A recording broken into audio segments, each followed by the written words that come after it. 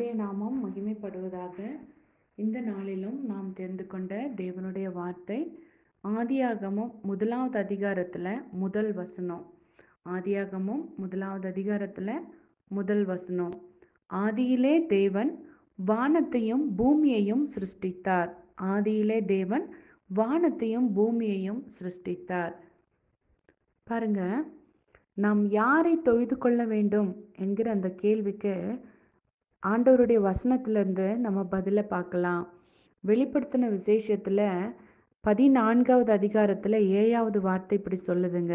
நம்ம யார் நாம் யாரை தொழுது கொள்ள வேண்டும் அப்படின்னா பாருங்க வானத்தையும் பூமியையும் சமுத்திரத்தையும் நீரூற்றுகளையும் உண்டாக்கினவரையே தொழுது கொள்ள வேண்டும் அப்படின்னு சொல்லி எழுதப்பட்டிருக்குது. அப்போது நம்ம ஆண்டவராகிய இயேசு கிறிஸ்து தான் வானத்தையும் பூமியையும் சமுத்திரத்தையும் நீரூற்றுகளையும் உண்டாக்கினாரு. அது மட்டும் இல்லைங்க நீங்களும் நானும் பார்க்குற இந்த உலகத்தில் நம்ம கண்ணு முன்னாடி இருக்கிற அத்தனையையும் அவர் தான் சிருஷ்டித்தாரு. எப்படி ஏசாமி அதை சிருஷ்டித்தாரு அப்படின்னு கேட்டிங்கன்னா வசனம் சொல்லுது ஆதியிலே வார்த்தை இருந்தது அந்த வார்த்தை தேவனிடத்தில் இருந்தது அந்த வார்த்தை தேவனாக இருந்தது அவர் தம்முடைய வார்த்தையினாலே உலகங்களை உண்டாக்கினார் அப்படின்னு இருக்குது. அவருடைய வார்த்தையினால தான் வானங்கள் உண்டாயின. அவருடைய வார்த்தையினால பூமி உண்டாயின. அவருடைய வார்த்தையினால தான் சகலமும் உண்டாயின அப்படின்னு சொல்லி வேதம் நமக்கு சொல்லுது.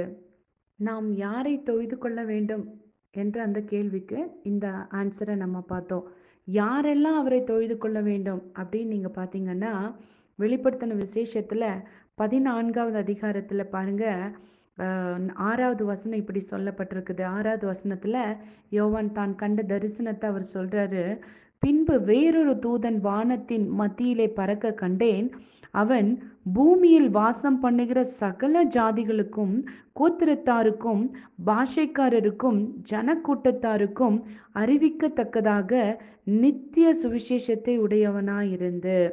இப்போ பாருங்க யாரெல்லாம் ஆண்டவரை தொழுது கொள்ளணுமாமா சகல ஜாதிகள் சகல கோத்திரத்தாரும் சகல பாஷைக்காரரும் ஜனக்கூட்டத்தார் யாவரும் எல்லாத்துக்குமே ஒரே சுவிசேஷம் அது நித்திய சுவிசேஷம். அந்த சுவிசேஷம் என்னன்னா மிகுந்த சத்தமிட்டு அவர் சொன்ன சுவிசேஷம் தேவனுக்கு பயந்து அவரை மகிமைப்படுத்துங்கள். அவர் நியாய தீர்ப்பு கொடுக்கும் வேலை வந்தது. வானத்தையும் பூமியையும் சமுத்திரத்தையும் நீரூற்றுகளையும் உண்டாக்கினவரையே தொழுது கொள்ளுங்கள் என்று கூறினான். ஏன் அவர் அப்படி சொல்றாருன்னா பாருங்க இந்த உலகத்துல ஒரு ஒருத்தரும் ஒரு ஒருத்தர் கடவுளை வணங்குறாங்க. ஒருத்தர் ஒருத்தருமே ஒவ்வொருத்தர் என்ன சொல்கிறாங்கன்னா இதுதான் எங்களோட குல சாமி அப்படின்னு சொல்லிட்டு ஒரு ஒரு குலத்துக்கு ஒரு ஒரு கடவுள் ஒரு ஒரு கோத்திரத்தாருக்கு ஒரு ஒரு கடவுள்னு சொல்லி இஷ்டத்துக்கு வந்து ஏகப்பட்ட தேவர்களை மனுஷங்களே உருவாக்கிட்டு இருக்காங்க அது மட்டும் இல்லை இன்னும் எத்தனையோ பேர் கொடுமையான விஷயம் என்னன்னா மனுஷங்களே மனுஷங்களை வணங்கிட்டு இருக்காங்க ஒரு மனுஷன் இன்னொரு மனுஷனை வணங்கிட்டு இருக்கான் இன்னும் சில பேர் வந்து வானத்தின் சேனைகளை வணங்கிட்டு இருக்காங்க வானத்தில் ஆண்டவர் என்ன கிரியைகள் எல்லாம் உண்டு பண்ணி வைத்தாரோ அந்த வானத்தின் கிரியைகளை வணங்கிட்டு இருக்காங்க இந்த பூமியில் ஆண்டவர் எதெல்லாம் சிருஷ்டித்தாரோ அந்த சிருஷ்டிப்பை வணங்கிட்டு இருக்காங்க ஆண்டவரோட வசனம் சொல்லுது நாம் வந்து சிருஷ்டிகரை தான் நம்ம வந்து தொழுது கொள்ளணும். உன்னை சிருஷ்டித்த சிருஷ்டிகரை நினை அப்படின்னு இருக்குதுங்க. நம்மளை சிருஷ்டித்த சிருஷ்டிகரை நினைக்காம நம்ம வேற காரியத்தை நம்ம தொழுது கொள்ளக்கூடாது. இந்த சுவிசேஷம் நித்திய சுவிசேஷம் அப்படின்னா இது உலகம் உண்டானது முதற்கொண்டு முடிவு மட்டும் உலகத்தில் வாழ்கிற அத்தனை பேருக்குமா அத்தனை பேருக்கும் சொந்தமான ஒரே ஒரு சுவிசேஷம் நித்திய சுவிசேஷம். அது என்ன அப்படின்னா நம்ம வானத்தையும் பூமியையும் சமுத்திரத்தையும் நீரூற்றுகளையும் உண்டாக்குன கடவுளை தான் தொழுது கொள்ளணும். அவரை தவிர வேற யாரையுமே நம்ம தொழுது கொள்ளக்கூடாது. அப்போ இந்த வார்த்தை நமக்கு எதை கற்றுக் கொடுக்குது அப்படின்னா ஏசாமி வந்து கிறிஸ்தவர்களுடைய கடவுள் கிடையாது.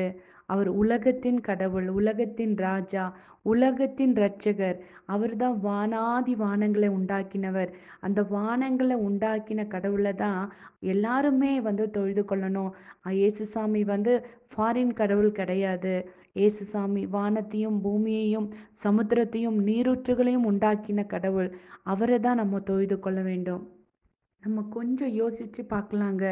இந்த வானமும் பூமியும் ஆண்டவரால் சிருஷ்டிக்கப்பட்ட வானமும் பூமியும் இவ்வளோ பெருசாக இருக்குதுன்னா அதை உண்டாக்கின கடவுள் வந்து இன்னும் எவ்வளோ பெருசாக இருப்பார்? அதை நம்ம யோசித்து பார்த்துருக்கோமா? பாருங்க இவரோட தரிசனத்தில் யோவன் தன்னோட தரிசனத்தில் இன்னொரு காரியத்தை சொல்கிறாரு அது என்ன தெரியுங்களா? பின்பு நான் பெரிய வெள்ளை சிங்காசனத்தையும் அதன் மேல் வீற்றிருக்கிறவரையும் கண்டேன். அவருடைய சமூகத்திலிருந்து பூமியும் வானமும் அகன்று போயின அவைகளுக்கு இடம் காணப்படவில்லையாமா? ஒரு நாள் வருமாங்க அந்த நாளில் வானமும் பூமியும் ஆண்டவருக்கு முன்னாடி நிற்கிறதுக்கு இடம் இல்லாமல் அது வந்து அகன்று போகுதாமா? அப்போ வசனம் சொல்லுது அவர் வந்து பூமியெல்லாம் அக்கினியினால் வெந்து உருகி போகும்.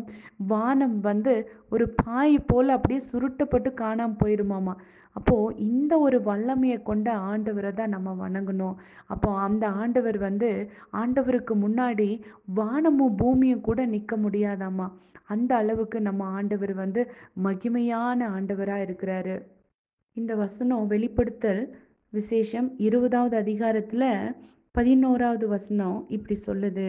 ஆண்டவருக்கு முன்னாடி வானத்துக்கும் பூமிக்குமே இடம் இல்லையாமா அப்போ அவரோட சிங்காசனத்துக்கு முன்னாடி வானமும் பூமியும் கூட நிற்கிறதுக்கு இடம் இல்லை அப்படின்னு சொல்லப்பட்டிருக்குதுங்க. தேவன்டா வானத்தையும் பூமியையும் சிருஷ்டித்தார் என்பதற்கு அடையாளமாக பரிசுத்த வேதாகமத்தில் கிட்டத்தட்ட இருநூற்று ஐம்பத்தி எட்டு இடங்களில் இந்த வானம் அப்படிங்கிற வார்த்தை வருதுங்க. அந்த வானத்துக்கு வேதத்தில் அவ்வளோ முக்கியத்துவம் கொடுக்கப்பட்டிருக்குது. ஏன்னா அது தேவனால் உண்டாக்கப்பட்ட வானமாக இருக்கிறதுனால அந்த வானம் என்கிற வார்த்தைக்கு நிறைய முக்கியத்துவம் கொடுத்து அங்கே வந்து எழுதப்பட்டிருக்கிறது. வேதத்தில் பரிசுத்தவான்கள் எல்லாமே எல்லாருமே வந்து வானம் என்கிற வார்த்தையை அவங்க உபயோகப்படுத்தி பிளஸ் பண்ணுறதை நம்ம பார்க்க முடியும். யாத்ராகமம் இருபது நான்கில் இப்படி போடப்பட்டிருக்குதுங்க.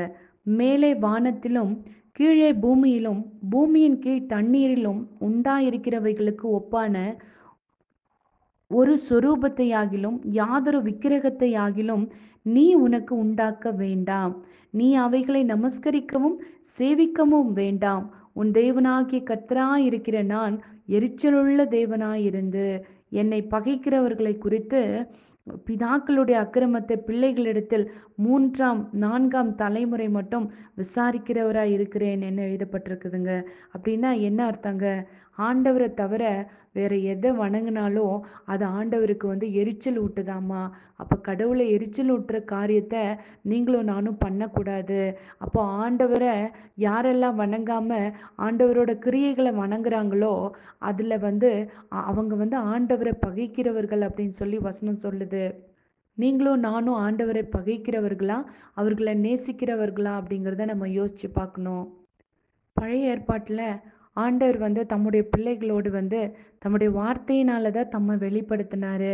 அப்போ ஆண்டவர் சொல்கிறாரு உபாகமம் நான்காவது அதிகாரத்தில் பதினைந்தாவது வசனம் சொல்லுது கத்தர் ஓரேபிலே அக்கினியின் நடுவிலிருந்து உங்களோட பேசின நாளில் நீங்கள் ஒரு சுரூபத்தையும் ஒரு ரூபத்தையும் காணவில்லை அப்படின்னு இருக்குது.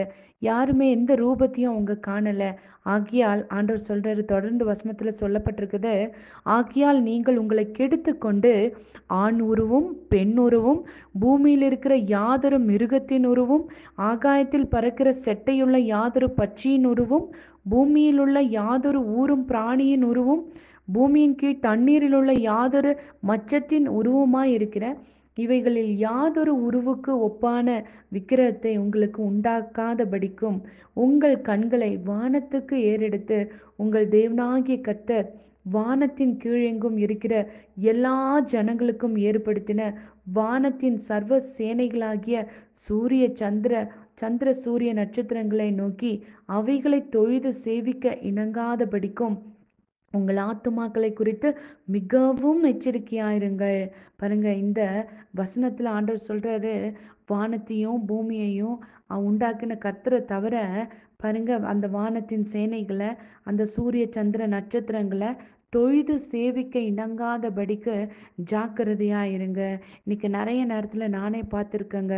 வீட்டிலேருந்து தூங்கி எந்திரிச்சு வெளியே வந்த உடனே எல்லாருமே வந்து சூரியனை பார்த்து நமஸ்காரம் பண்ணுறாங்க சூரியனை பார்த்து வணங்குறாங்க. தரையை தொட்டு கும்பிடுறாங்க. பாருங்க இது எல்லாமே கடவுளால் சிருஷ்டிக்கப்பட்டவைகள். இவைகளை நம்ம தொழுது கொள்ளக்கூடாதுன்னு வசனம் வந்து உங்கள் ஆத்துமாக்களை குறித்து நீங்கள் மிகவும் எச்சரிக்கையாக இருங்கள். அந்த இடத்துல வந்து நமக்கு அழுத்தமாக ஆண்டவர் சொல்கிறாரு மிகவும் எச்சரிக்கையாக இருங்கள் அப்படின்னு எழுதப்பட்டிருக்குதுங்க. நம்ம ஜெபிக்கலாங்க. ஆண்டவரே இந்த அருமையான வேலைக்காக நன்றி. இந்த வார்த்தையை யாரெல்லாம் கேட்டுட்ருக்காங்களோ அவர்கள் தங்களுடைய வாழ்க்கையில் உம்மை தவிர வேறு எதையும் சேவிக்காதபடிக்கு வணங்காதபடிக்கு தங்கள் ஆத்துமாக்களை ஜாக்கிரதையாக காத்துக்கொள்ள கர்த்தர் உதவி செய்வீராக. இயேசுவின் மூலம் ஜெபிக்கிறேன். ஜீவனுள்ள நல்ல பிதாவே.